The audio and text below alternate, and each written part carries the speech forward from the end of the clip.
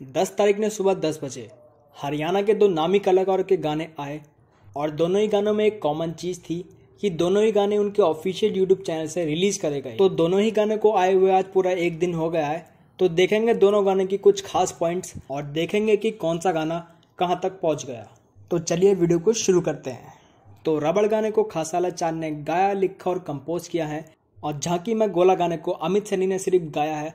तो यहाँ पर खासाला चार को एक पॉइंट मिलता है और अमित सैनी को ज़ीरो वहीं दोनों गाने के व्यूज़ के बारे में बात करें तो अमित सैनी के गाने पर हैं चार लाख व्यूज़ और खासाला चार के गाने पर हैं 1.2 मिलियन व्यूज़ लेकिन खासाला चार के गाने पर ऐड चलते हुए दिखाई दे रहे हैं और अमित सैनी ने कोई प्रमोशन नहीं लगाया। तो अमित सैनी को एक पॉइंट मिलता है खासाला को ज़ीरो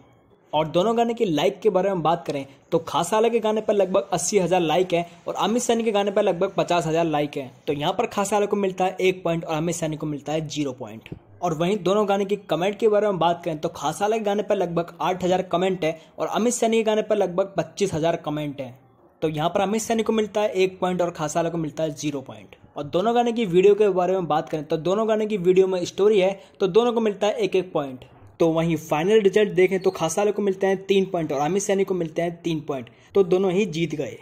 तो वीडियो कैसे लगी कमेंट करके ज़रूर बताना और अच्छी लगी हो तो लाइक शेयर करके अपने चैनल को सब्सक्राइब कर लेना। जल्दी मिलेंगे नई वीडियो के साथ, तब